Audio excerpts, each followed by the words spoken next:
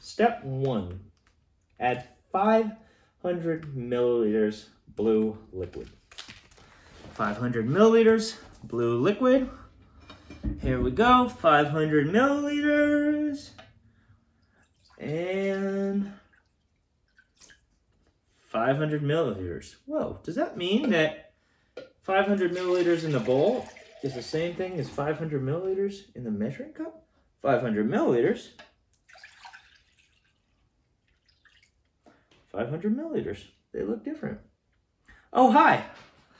I'm from hand2mind. And this is the second day of the eighth week for our third grade Teach at Home series. And I was just working on some volumes. I was measuring 500 milliliters of blue liquid. And that's kind of what we're going to do today. We're going to talk about volumes and how you can measure liquids. Now, you don't have to just measure liquids. You can measure solids. You can even measure air. But today, mostly what we're going to be doing is measuring liquids, maybe a little some other stuff too. So, if you're ready, let's get started. In today's lesson, we're going to be talking about volume and capacity, and we're going to be building our understanding of the two, and especially our understanding of volume. So, volume is the amount of space that is occupied or taken up by a liquid, a solid, or a gas. And it can be it can also be and a gas. For instance, a box full of sand could have sand most of the way up, but then air the rest of the way or taking up the rest of the box. And so we can say that the volume of the box is taken up by both sand and air, right? So another example of volume is this bucket. It contains a volume of 2 liters of water, meaning the amount of water that is in this bucket is 2 liters. You could take this water and pour it into a totally different shaped bucket, and it would still have 2 liters. You could pour it into any vessel that can hold 2 liters, and you would still always have the same volume of water. It would be 2 liters. So no matter what shape this water it is in, it will still always be the same volume of 2 liters. Another word that is important to know is capacity. And the capacity is the maximum amount of volume that a particular container can hold. So for example, this beaker has a volume of 15 milliliters, but that's not its capacity. This beaker can hold up to 50 milliliters, so therefore it has a capacity of 50 milliliters. So it's very important to understand the difference between volume and capacity.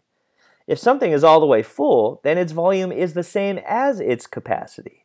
But if it's not all the way full, then the volume is going to be less than the capacity, as in this case, where the volume is 15 milliliters, but the capacity is 50 milliliters.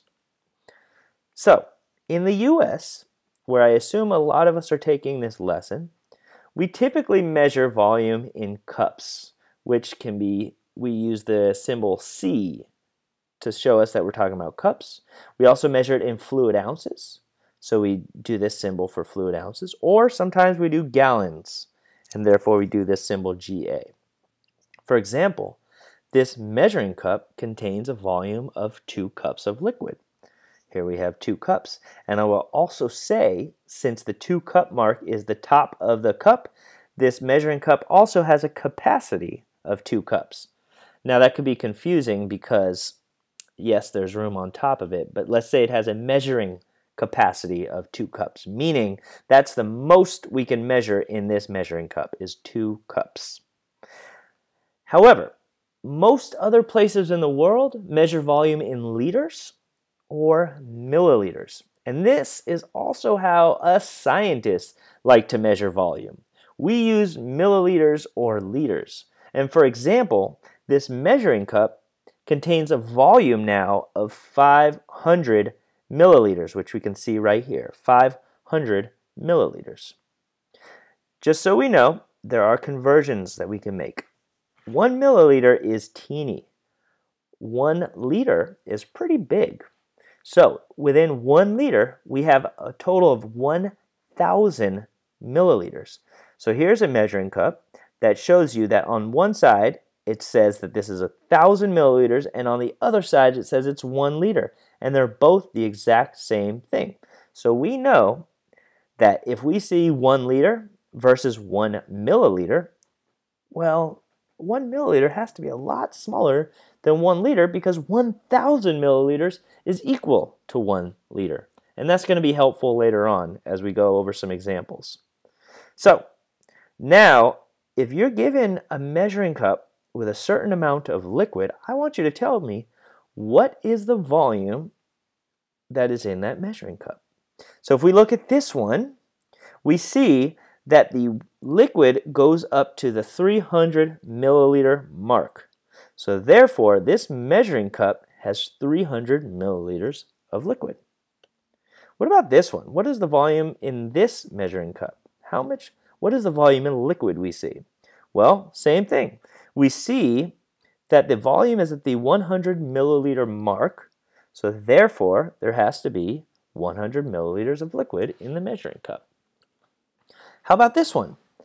Now we're not at 100, 200, or 300, but we're in between. Now we see it at 250 milliliters.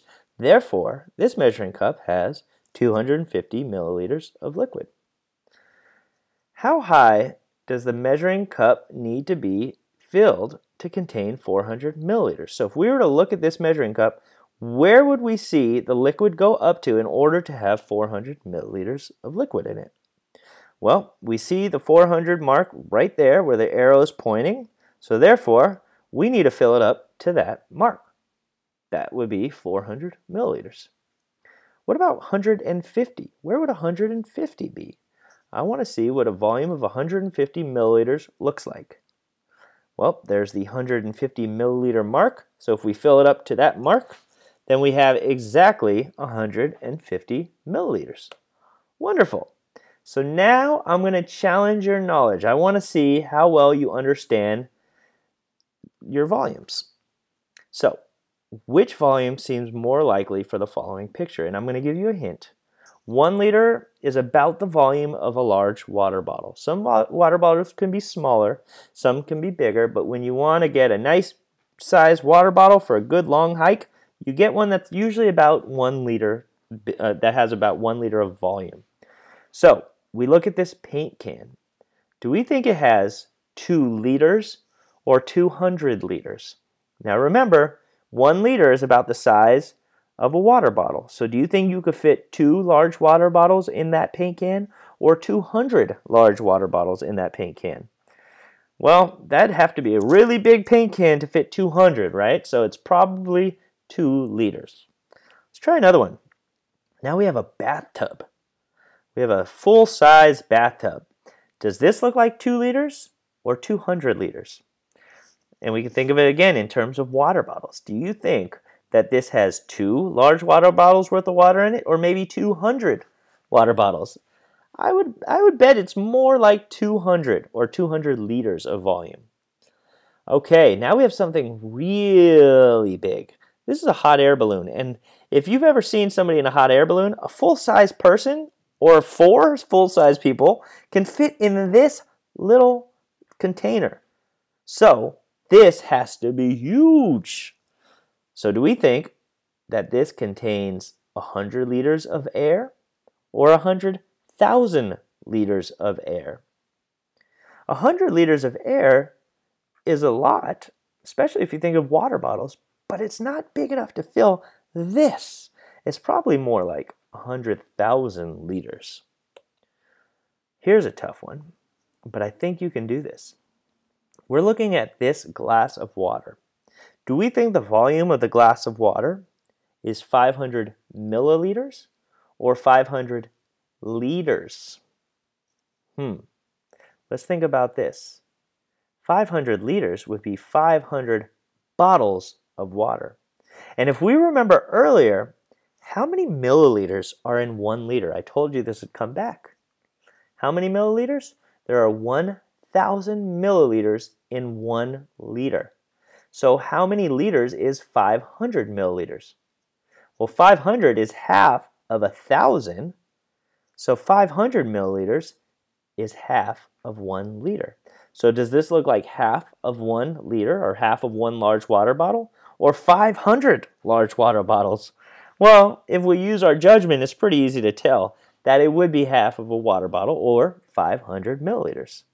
And that's our lesson on volume. Thanks so much for following along. And tomorrow, we're going to get into weight. So I can't wait to see you then. And for more resources, please visit hand2mindathome.com. Have a good one.